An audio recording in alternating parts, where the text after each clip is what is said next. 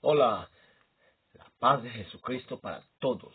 En el nombre del Señor Jesucristo Nazaret, con la autoridad que Él me ha dado a mí, yo comando la paz que sobrepasa todo entendimiento en tu vida. En el nombre de Jesús comando la vida para que tú estés siempre feliz, estés siempre en la gracia del Señor, de acuerdo a su amor y su voluntad, y que tengas capacidad para reconocer tus fallas, tengas capacidad para reconocer la necesidad de Jesucristo como todos nosotros lo hacemos cuando conocemos de Jesucristo. Ahora, algunas veces se nos escapa. Yo también tuve un tiempo que yo no sabía qué es esto de lo que estoy hablando ahora. Alguien me hablaba así y yo me asustaba o me incomodaba. Más ahora ya tenemos este asunto mucho más claro. Por eso eh, es importante que no rechacemos la bendición. Recibamos. De nada sirve si te dan algo bueno, tú lo recibes. Si dan algo malo, pues obviamente tú lo pones de lado. Así que una alegría está contigo nuevamente, una alegría estar nuevamente en tu casa, una vez más, con algo que es súper lindísimo. Eh, el Señor Jesucristo nos dejó un mensaje. Jesucristo dejó un mensaje claro, preciso, conciso y simple de entender. Se encuentra en el libro de Dios, la palabra de Dios, la Biblia. Si queremos dar fruto, tengo yo aquí atrás eh, eh, eh, en, la pintura atrás, si queremos dar fruto, San Juan 15.7. Y ese va a ser nuestro punto para encajar hoy, nuestro punto para nos dar coraje, alegría y ánimo para investigar más sobre este asunto. Así que vamos a ver dos escrituras. Una es San Juan 15, 7. No les olvide, la tiene allí es fácil. Y la otra es San Juan 14, 23. Así que tú no te vas a olvidar. San Juan 14, 23. Y puedes leer todo San Juan 14, es muy lindísimo. Pero yo lo recomiendo para que leas San Juan capítulo 15, capítulo 14 y 16. Son capítulos muy lindos, fáciles de entender Jesús habla de una manera muy directa para sus apóstoles, para sus amados, para aquellos que realmente quieren entender de Jesús. Les habla con palabras claras. Y eso es lo que tenemos nosotros que eh, hacer. Estás con un corazón simple, abierto, para que Jesús diga, te voy a hablar, te voy a dar secretos, te voy a revelar la verdad. Y esa verdad te va a hacer libre. Ahora tú me dices, pero estás hablando mucho de Jesucristo, Jesucristo, Jesucristo. Pues, no lo conoces, aquí está. Tú simplemente tienes que aceptarlo en tu corazón. Así dice la palabra que si tú confiesas con tu boca y aceptas en tu corazón que Jesucristo es el Señor, entonces Él te va a dar vida eterna. Te va a aceptar como su hijo. Te va a dar la capacidad y la autoridad de ser hijo de Dios.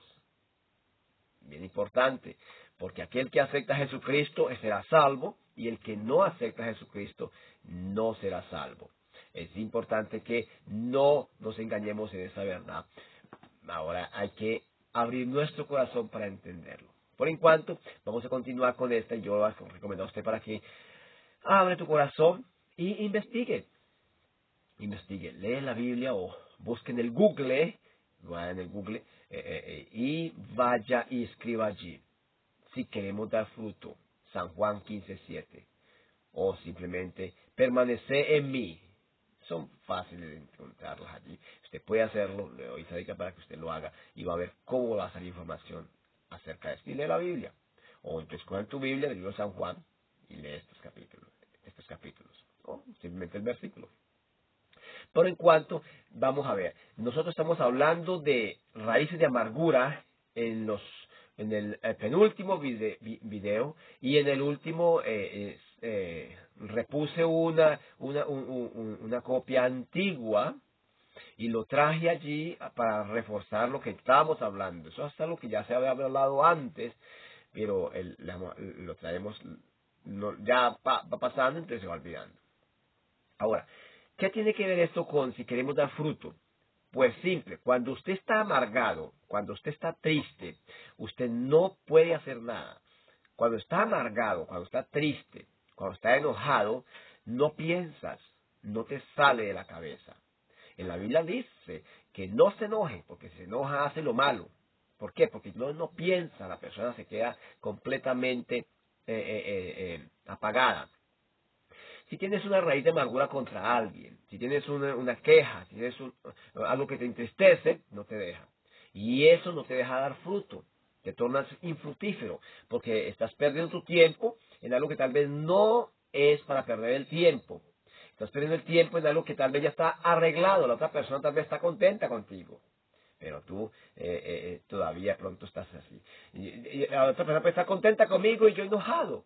No me da. Es algo que yo tengo que investigar primero, dejarlo claro y saber cuál es mi posición y cuál es la posición de la otra persona para así cerrar el caso y esto que no me afecte a mí. Porque si me afecta, entonces me va a hacer perder de dar fruto.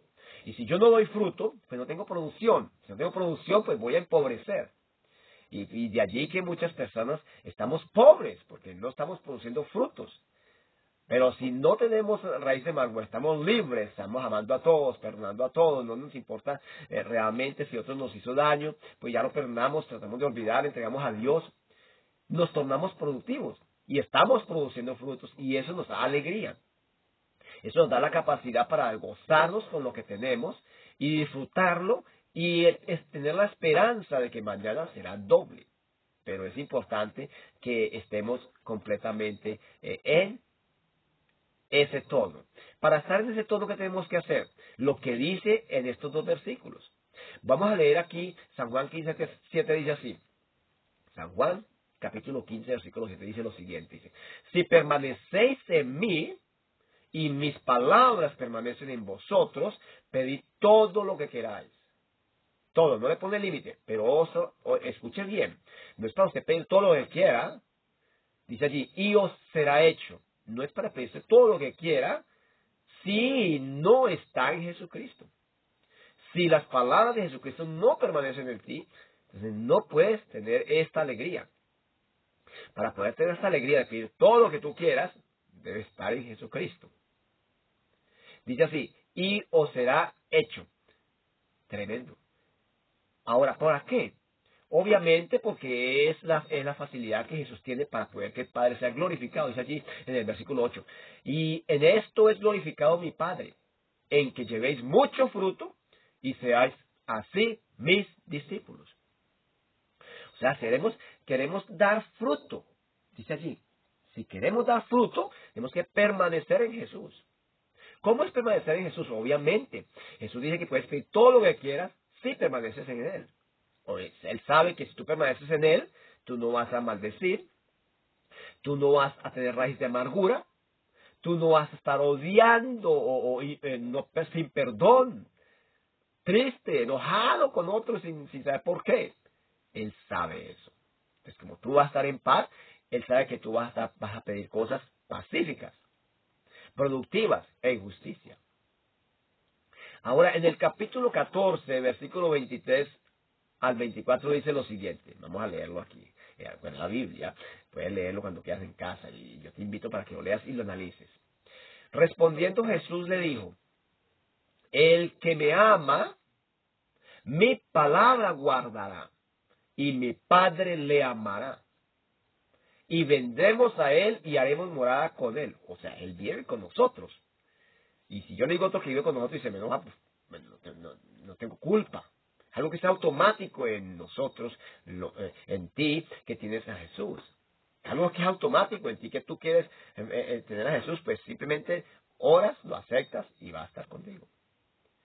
Dice allí en, en el 24, el que no me ama no guarda mi palabra.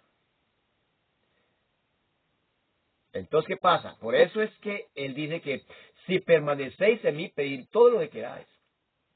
Les vamos a permanecer en Jesús. Simplemente tienes que hacer así, mira, Señor Jesucristo, yo te acepto, te recibo en mi corazón, te acepto como mi Señor y mi Salvador. Dile, perdona mis pecados Perdona mis errores, mis fallas. A partir de ahora yo te acepto como mi Señor y mi Salvador. Eres el Rey de mi vida. Mi alma está en tus manos. Me entrego a ti completamente. Señor, concédeme que mi nombre esté en el libro, esté escrito en el libro de la vida. Y mi Señor me dirige para que yo pueda recibir la promesa del Espíritu Santo y aprender más.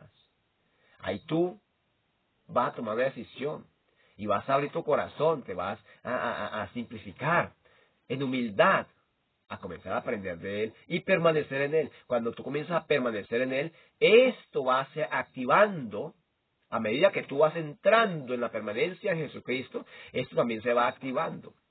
A medida que tú vas creciendo en el relacionamiento, va creciendo esta confianza contigo y Él. Y allí cada día te puede pedir lo que quieras. Obviamente, cuando yo pedir algo, si estoy Jesús, yo no voy a estar pidiendo cosas sin sentido, porque ya sé que no vale la pena. Así que, si queremos dar fruto, vamos a permanecer en él. Dios te bendiga, te guarde y vamos a continuar. Vamos a leer San Juan capítulo 14, 15 y 16. Esa es la tarea para esta semana. Y permanezcamos en él para que podamos dar buen fruto. Dios te bendiga, te guarde en el nombre de Jesús. La paz.